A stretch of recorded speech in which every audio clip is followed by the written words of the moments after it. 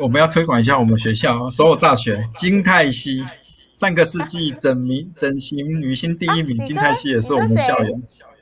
金泰熙啊，就是那个润的润的老婆，对不对？对对对对，他是那个所有大学出来的，对啊，也算是高学历。对对对。好，刚才回到那个对吧？刚才那个水晶主播讲的那个考试院是不是啊？哎，我真的印象深刻。你自己做的亲身经验是怎么样？没错，刚才那个图片的确离我们那个节目播了一样。我之之前二零一一年第一次去韩国时候住那个地方。那时候住新村，然后因为会选择考试院的话是不需要房租，它要类似短租期的。短租期的话，你基本上不用付押金，押金。不然一般的话，比如说在外面租房子，付的押金也蛮贵的哦。韩国的下次有机会我们介绍，就是你付的押金至少要先付大概五百万韩币，折合台币大概十六万。可是考试院不用，考试院就短租的。可是说，当你说考试院会很便宜嘛？可是没有，我记得我那时候价钱是一个月五十万，我们除以三十五，在台币要一万二、一万一哦。那你说房间多大？真的就两平，可是很小哎，很小啊。然后你加卫浴设备要多五千韩币，开窗再多五千韩币。哦，你懂我意思吗？就是你旁边有窗户的话，会多收五千块韩币哦，要多收一百二十五块左右。然后你要有自己的那个小小厕所的话。然后又又给你多收五千块，所以那个房间是非常非常非常小啊，那种地方啊，你说为什么这么小呢？因为刚才我提到为什么叫考试院，因为那些住那些地方的人，大部分白天都去哪边？补习班、K 书中心、图书馆有没有？他只不过是需要一个可以住的地方，所以才所以就是怎样，就是租个小地方叫考试院嘛。平常白天都在外面活动，有没有？那考试院是有个好处，就是有时候房东会准备一些泡面啊，或者一些泡菜在餐厅里面，类似雅房啊。可是比较麻烦是，其实考试院在韩国引起蛮大争议，是因为那个是短租的东西嘛。你里面的房客比较复杂，因为。你付了大概一个月就在里面做，所以里面有有时候发生一些一些，比如说偷窃的啦，或者是一些凶杀案的也有，这其实都有。所以，我可以刚好那个肯定主播提到这个，我会刚好我们很多观众的年轻朋友，那为什么会有这样的文化？就是说考前一定要去考试院念书啊？因为那那你专心念书啊，那你专心念书，就是你白天就在外面念书，晚上就找个地方睡觉而已。那地方就类似。那你过夜而已的，过夜而已。所以韩国有部电影叫什么《他人即地狱》来讲这地方，各位朋友看一下《他人即地狱》。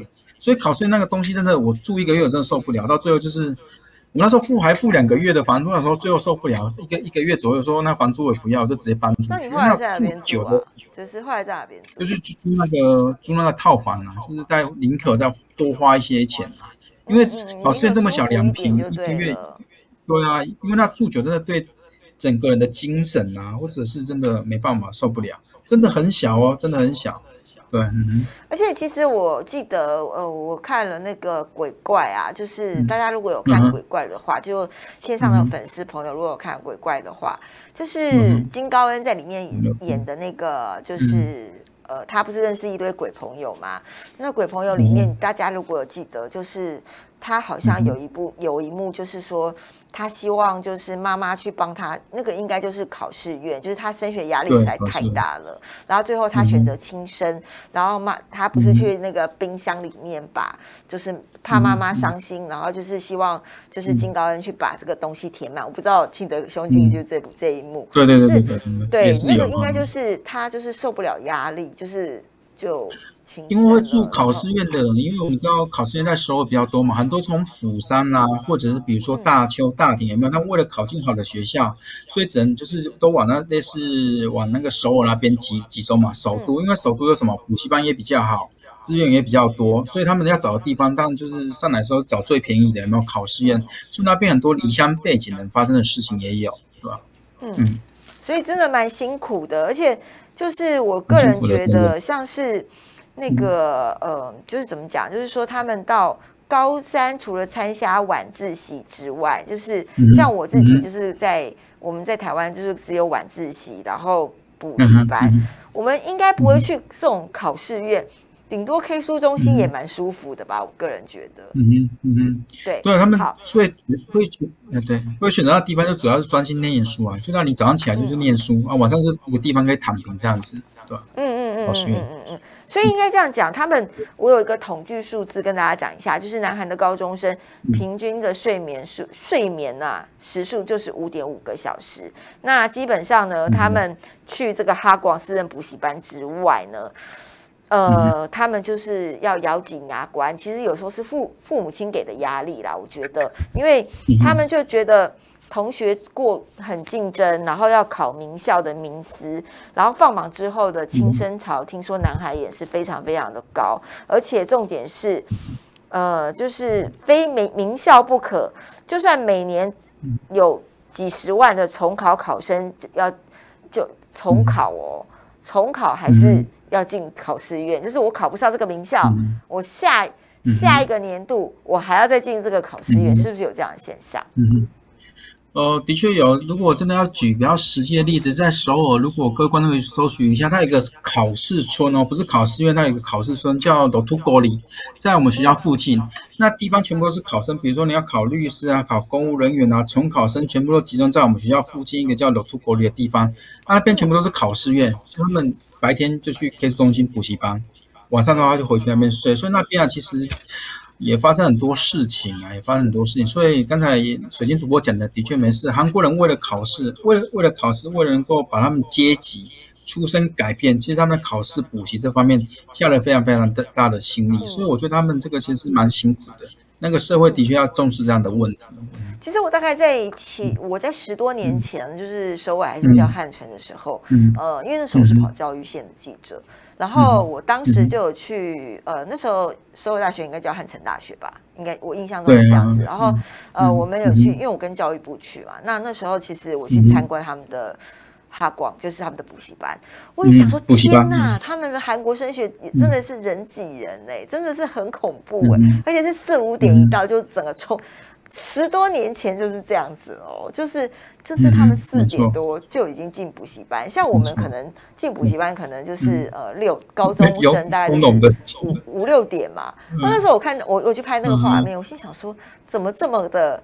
夸张啊！好，这个可能是父母亲给的压力。其实南韩就是希望说，哎，你考上了个好大学，以后就可以进一个好的职业。真的是这样子吗？真的是这样子吗？我们不晓得。但是呃，我们待会请庆德兄先下线一下下，因为我们要进下一趴，下一趴还会再请到你。我们请这个庆德先先下线一下下，我们要再讲下一个阶段的部分。下个阶段呢，我们要讲的部分就是，哎，其实。我们刚刚有提到了，其实南韩竞争这么激烈哦，其实，在大陆呢，其实的这个教改呢，都已经在改变了。你怎么怎么说呢？大陆呢，现在教改这盘棋，他们实施了一个叫做双减政策，他们希望能创造所谓的公平减低的贫富差距。也就是说，大陆也是一个之前在上海或者是北京，也是念书念到就是非常竞争激烈的一个地方。但是呢，他们现在觉得说，因为每年平均哦，大家跟有一个数字跟大家讲一下。这时候提到就是说，每年平均要支付十二万人民币，超过新台币五十万的体制外的补习费用。而北京、上海呢，更是达到三十万元人民币，已经超过了。一个一般工资、一般工薪家庭一年的收入了，一年的收入哦，等于是说上海跟北京一般这些这些城市啊，他们为了要补习，已经超过了这个一个家庭的一年的收入的这个费用了。那中国大陆现在觉得说，哎，这样不行啊，双减政策就实施下去，他们希望就是说回归到正常的教育教改制度。怎么说呢？因为他们希望说，这个结果再下去的话，下一个时代会更贫富不均，而且会压榨到压榨到就是大陆内地所谓的中产阶级。那他们也希望说呢，大陆的这个双减政策呢，能够让优秀的学科和才艺师资回归正规的体制内，也就是说，补习文化。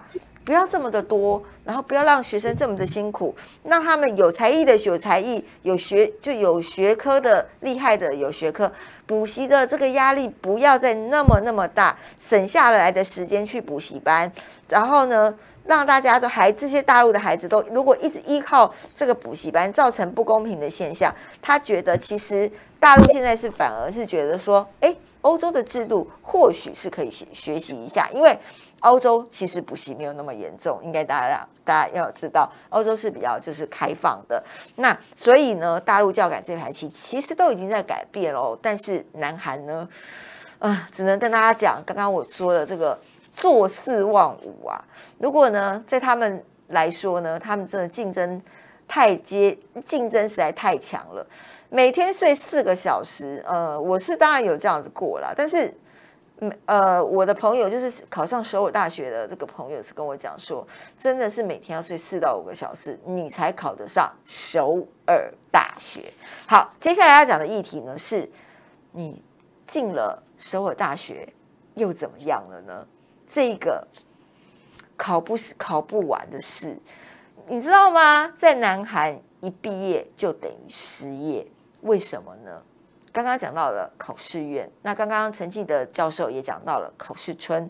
考试村呢，就是为了让这个所谓的毕业的学生在重考之外呢，他们要去考一些公职，而且呢，他们会考考考考考考到三十岁、四十岁都有可能，这是非常可怕的一件事情。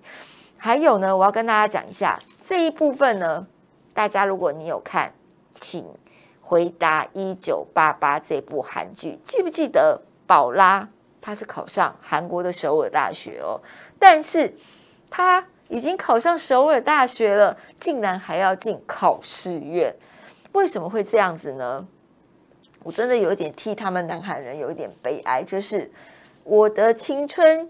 小鸟一样不回来。好了，小那个水晶主播有一点走音，可是真的是我的青春。我我下的这个注解真的是我的青春小鸟一样不回来，因为他们从高中开始到所谓的三十岁，都一直在考试。哎，我觉得是一个考试的大熔炉，你知道吗？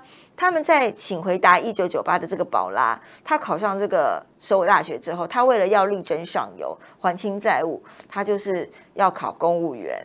那公务员就必须进考试村，然后你进了，你已经考上首尔大学，你还要继续考，考考考。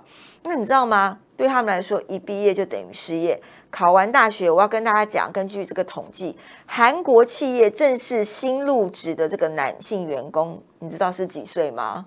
我们可能一毕业，像我一毕业二十二岁就就去工作了嘛，对不对？不管怎么样，不管你是什么学校，除非你要继续考呃硕士或什么之类的，大学毕业，他们新进的在韩国企业正式新入职的男员工，平均年龄是二十九点二岁，等于接近三十岁他才开始工作。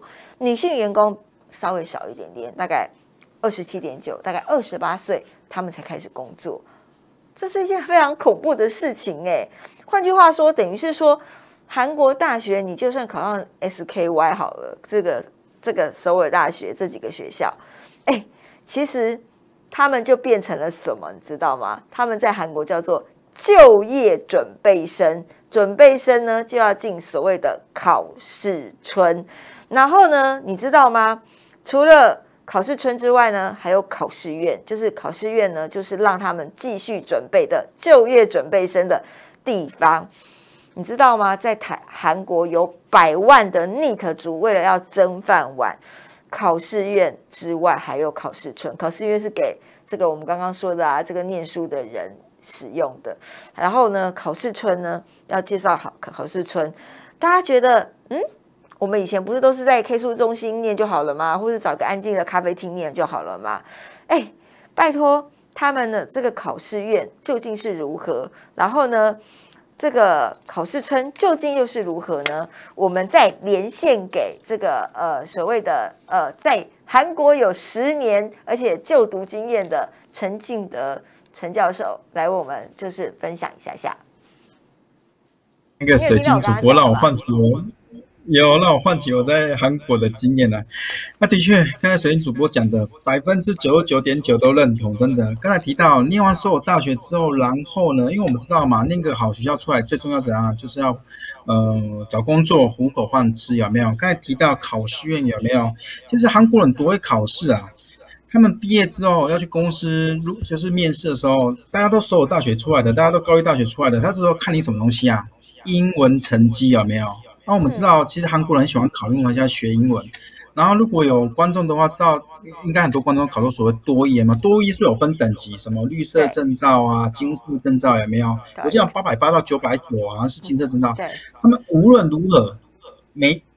我认识一个妹妹，每个月都要考多艺，为什么？因为她一定要考到黄金证照，因为每个每个区都是一定要考，每个月在考多艺哦。所以各位观众可以想想看，你上次考英文什么时候？我那个妹妹，韩国妹妹，每个月都要考多艺。我说奇怪，你是考上瘾还是怎样？她说没办法。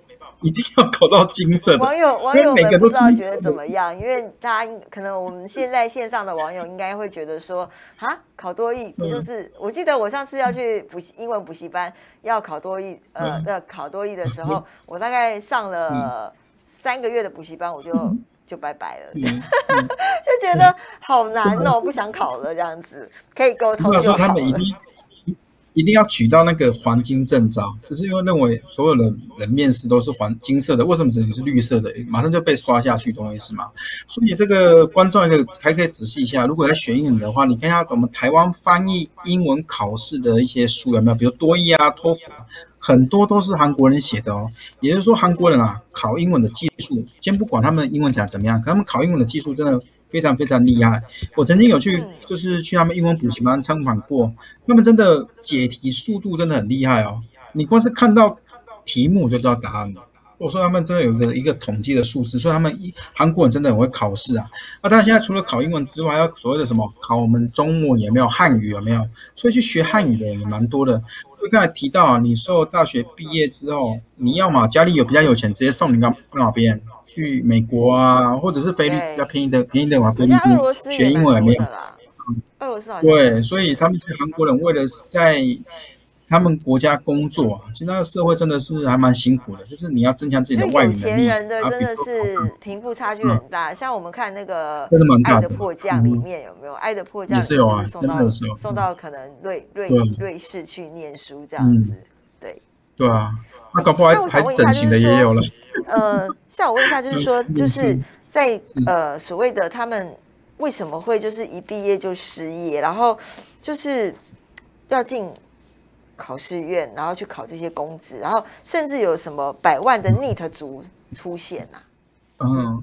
的确啊，其实这也是全球的现，我们台湾一样吧，因为韩国一样，大学没有，就基本上现在大学的学历基本上已经变成是一个最基本的学历。所以刚才水晶主播提到，为什么他们韩国那个男生也没有二十九点二岁才第一个找工作，有没有？女生二十二十七岁有没有？因为一般来说什么？因为大学学历已经最简单的，所以他们有的会怎样？去考研究所，当完兵之后去考研究所的人也很多，因为他们希望比别人多一些优势，不论是外语啊，或者是研究所学历，对他们都是有加分的。哎，有些人是为了逃避现实啊，反正我家里有钱，可以提供我多念书的话，就继续往上念。有些人是这样逃避的，所以我还是回到那个议题，就是其实韩国人啊，嗯，他们还是最根根本的思想是认为考试。好的学校进入好公司，可以翻转他们整个的命运，所以他们还是从某角来讲，还是陷于这样的泥沼里面。好，我这边有一个数字哦，就是南韩十五到二十九岁的双失双失青年呢，就是失业率啊，就是双呃双失青年被称为 NEET 族，也就是说，他这是陈军馆大学我们刚刚提到的，就是很多明星出的这个陈军馆大学的调查，他说全南韩的 NEET 族已经超过一百万人，就等于是说在整体的青年人口当中啊，大学毕业生的 NEET 率。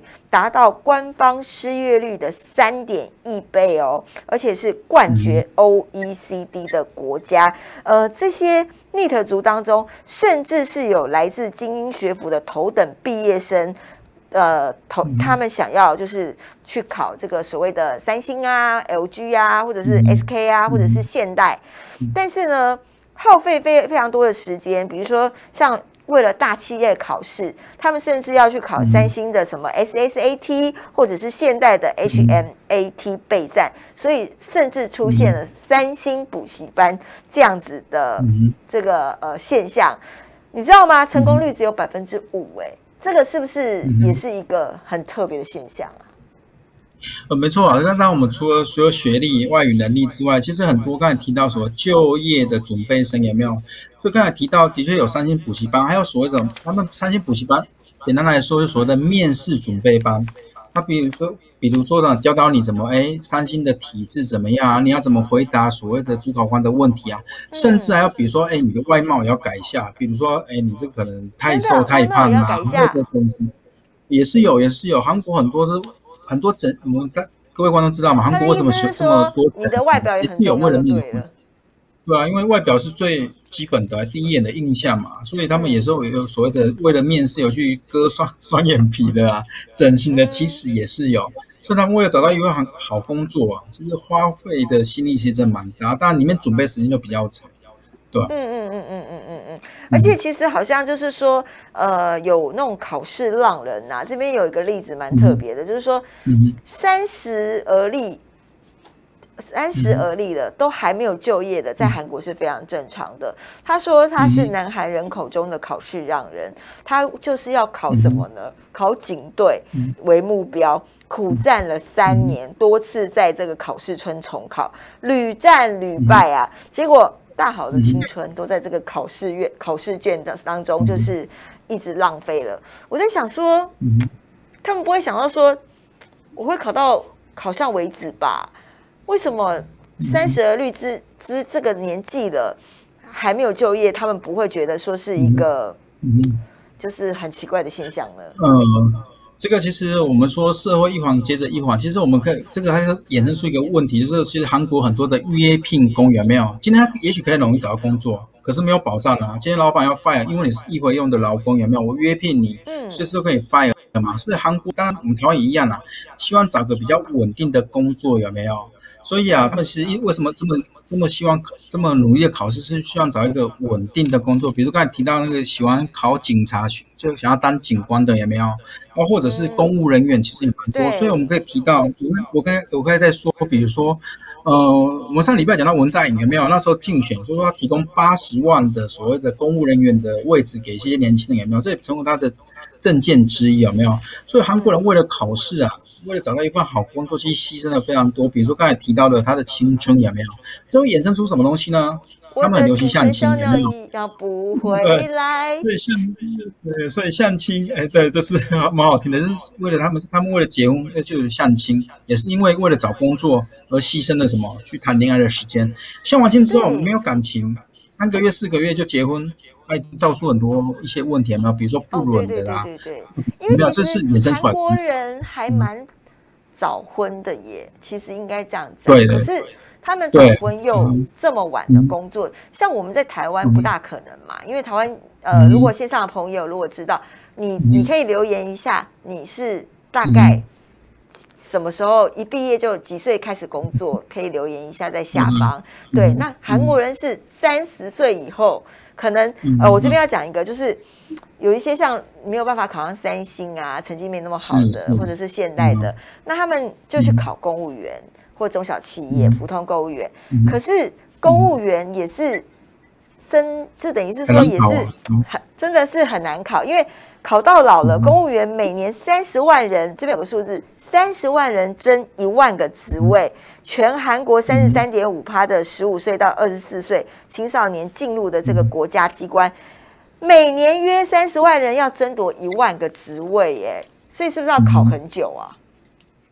主要就补习啊，然后比如说还要牺牺牲自己的青春啊，这我们刚刚才都有提到，有没有？韩国为了找一个比较稳定的工作，也许你十八岁考上好的学校，可是等你二十二岁毕业之后，又是另外一个考试的阶段的开始，你可能要进入所谓的考试院啊，准备你的律师啊、公务人员啊，或者你要考研究所，也许都有。所以韩国的你的考试啊，哦，真的，我都觉得他们都，我有时候。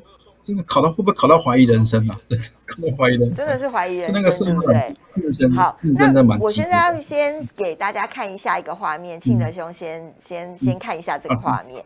这画面呢是那个就是他们的那个呃读书格的样子，每个每一格都有这个布帘遮挡遮挡。不过让我们给切一下画面给那个就是观众朋友看一下下好不好？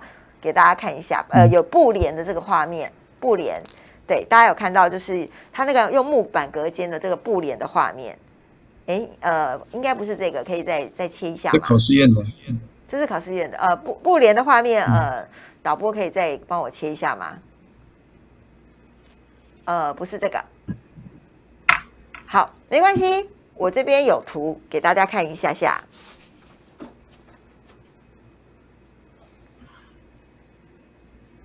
来，等我一下下哈，因为可能没有切到那个布帘的画面。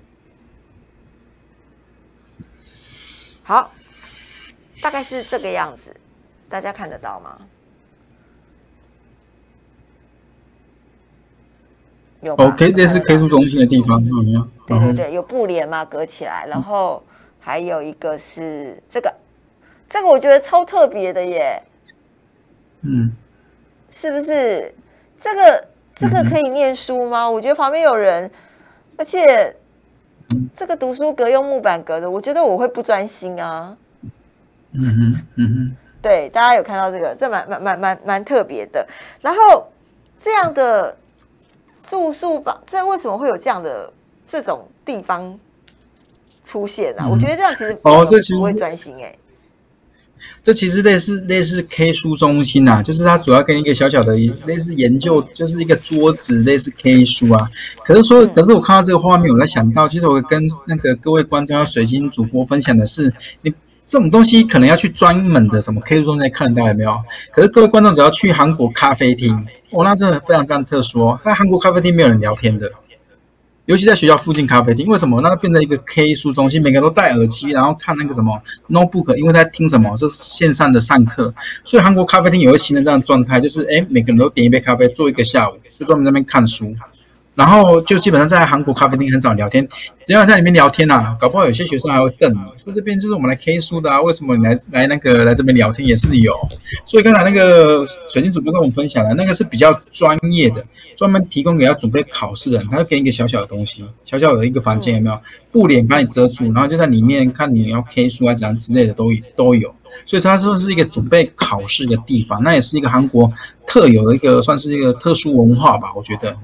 我觉得蛮蛮奇特的，真的真的，因为如果在那边，我会觉得怪怪的。旁边旁边的人是谁？这样子，对，好。另外一个呢，还有更特别的，我要跟大家讲。除了这个考试村跟私营读书室，如果你有看《天空之城》还有《赤月青日》这两部韩剧的话，都有出现一个很特别的家用读书房，而且重点是一个要六万八台币。在家 K 书用的 K 书房，在韩国竟然卖翻天。我们这个有啦，这个有，这个有，这个有，这个有。对，那我知道。这个卖六点八万，而且是在家里把你锁起来，耶，把你锁起来，你知道吗？嗯，对。然后这个，这个，这真的很扯。然后还有，你看，它就这么小，在家里，然后，然后妈妈把你就是。就是他就是放在家里面的一个小房间，然后把你锁起来。我觉得有点多此一举，你知道吗？然后就是里面就只有你看，这是天空，应该是《天空之城》里面的画面，给大家在《天空之城》里面的画面。嗯，它就是一个房子，房间木头的房子，然后六点八万卖到翻掉。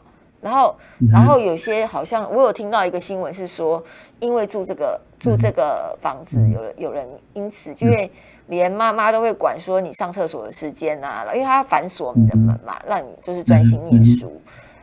怎么会这样子啊？我觉得这真的有点夸张。好像有有好像有一个新闻是说，就是把他关起来，然后后来他受不了就轻生的这个状况。嗯，对，对啊，看到对。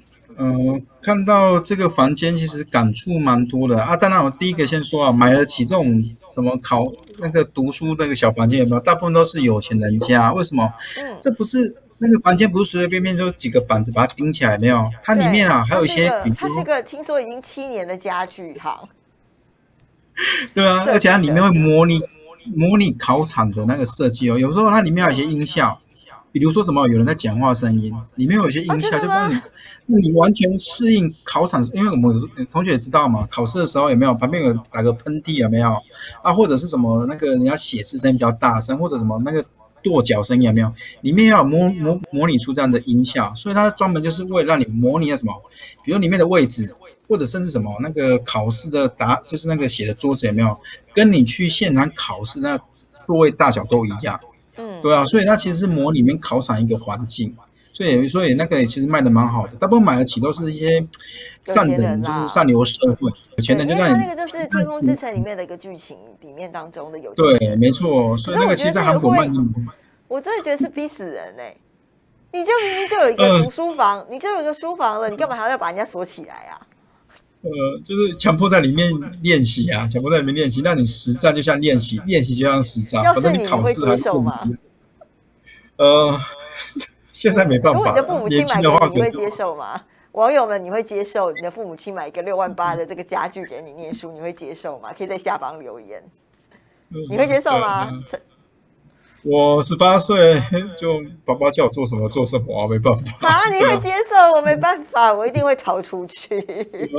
好了，我觉得韩国的这个各式各样，从考试院、考试村，考考考考考考考不完，甚至到出现这种特别的。家具真的是蛮特别，今天也谢谢这个韩国文化研究者，也是我们的这个陈教授来我们线上。那我们要继续下一个话题喽，阿妞，下下个礼拜见，对对对。